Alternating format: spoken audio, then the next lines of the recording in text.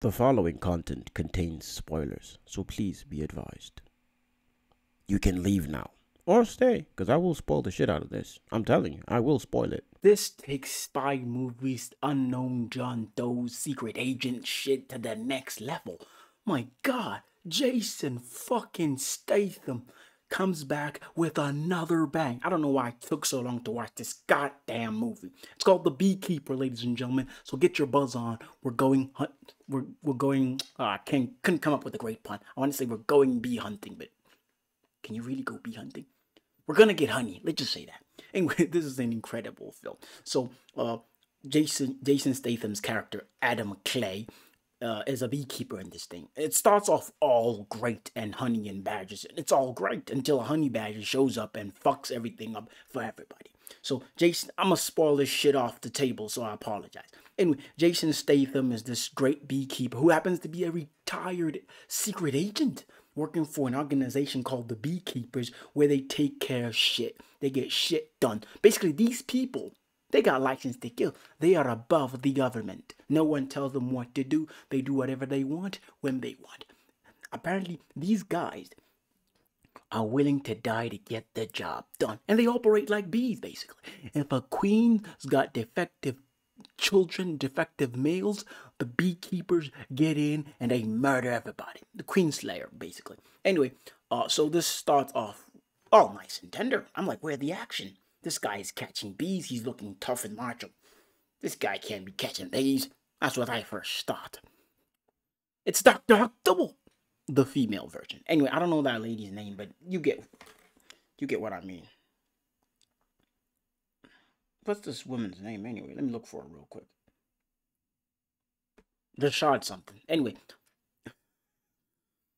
So, this lady commits suicide after this elite uh, hacking team, uh, United Data something, hacks and steal all her pension, steals uh, two million off her account, and then she commits suicide. And Jason Statham, Adam Clay, the beekeeper, whatever you want to call him, goes to town on these motherfuckers. Oh, he kills everybody.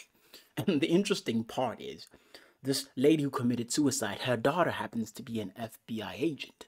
So she is first trying to find out why would her mother kill herself and tells the wrong dude. He she tells the right the wrong dude like this nigga did this and this and this nigga goes to town and everybody. He starts killing everybody involved in the money stealing.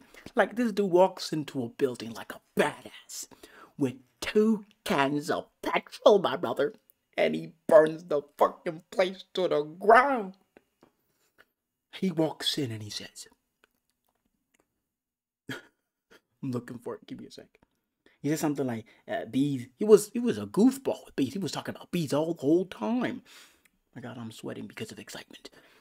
Anyway, so I gotta say this is a really good film. Like, there's if you're looking for action, they got it. If you're looking for explosions, they got it. If you're looking for someone who's tough to beat, murderous intent, who's kind-hearted at the same time, heart bent on completing a mission, this got it.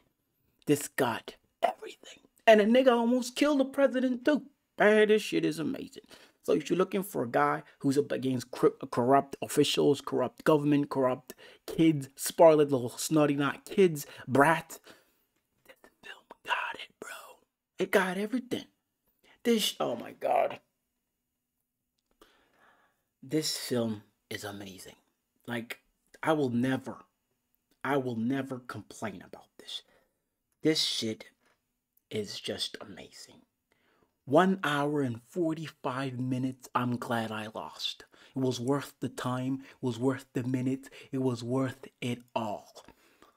Like Jason Statham is an incredible actor. The guy is amazing. He played the tough guy, he's macho. Man, this shit is dope. God damn it. God damn it, this movie was amazing. I don't even know what to say about it. I can't even analyze it. All I can say is this guy was amazing from start to finish. This guy was incredible. This guy was fantastico. I don't know why I got into the Spanish or Italian accent. I don't even know what that is. But I'm just saying, this was excellent. This was breathtaking. I was at the edge of my seat the whole time. I'm like, why aren't they shooting this goddamn guy? But no, he's the beekeeper. He's just incredible. He's amazing. God damn it. God, damn, I'm speechless.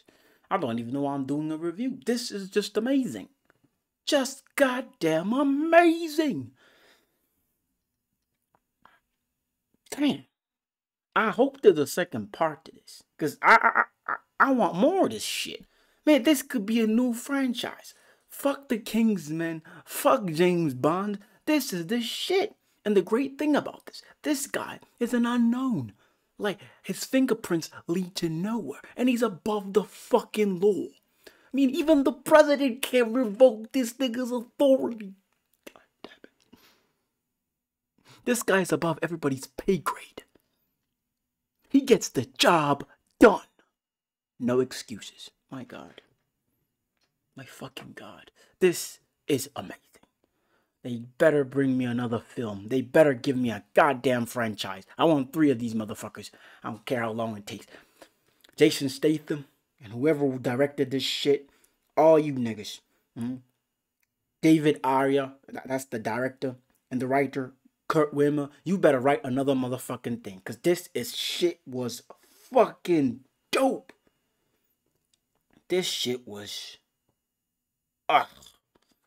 And Jeremy Irons, his performance. Hmm. Josh Hutcherson, oh man.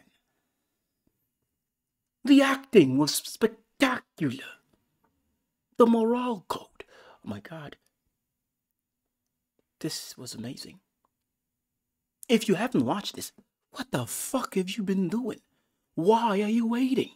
I waited. I'm I'm regretting. This movie came out early January and I just watched it today and I got to say I feel sad. I feel bad about this. I should have watched this eons ago. This was worth it. Thank God. I'm giving this 15 out of 10 stars. It's been a while since I enjoyed an action packed movie. Most action packed movies have no story, it's just vengeance that has no end. This was amazing. This guy killed people because they hurt the only woman, the only woman, granted, who ever took care of him. These cryptocurrency motherfuckers hurt her they made her kill herself because she was panicking, man. How, how are you gonna get back over two million? That's prison. Because no one's gonna believe that you got robbed. They're gonna think you stole that money. So she took her life. And Adam Clay went down on these niggas. Oh my god. And the final shot where he shot a nigga with this nigga was this cowardly motherfucker called Derek something, played by Josh Hudson was holding the US president, who happens to be his mother, at gunpoint, trying to shield his ass. And this nigga Clay was like, shot him right, right, right, right there. And he was dead.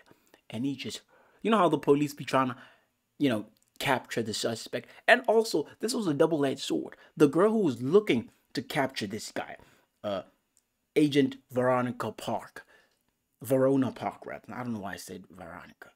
Uh, she was conflicted because this guy is doing revenge on people who made her mother kill herself. Damn, man, this was amazing. This was goddamn amazing. If you haven't watched it, go watch it. If you, I don't know, man, just go watch this thing. You won't regret it. Oh my God, that was amazing. That was amazing. That was so great. I don't know why I took too long to watch. That was amazing. Now that was entertaining. Please let us hang out yet another time. Remember to like and subscribe. Adios, folks. Adios.